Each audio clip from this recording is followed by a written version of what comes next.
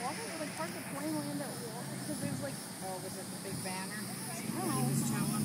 It's gotta be the banner. It's just a banner pulling. oh that must have been it. Yeah, because I saw something laying over there, That's what and I said, the "Look like just, fell." just here said it was. The Walgreens over on the other side. The Walgreens over there. This is ridiculous. So we just like crashed here. Or? Very probably vandals. Crash landed. Yeah, he landed But here. no, on purpose.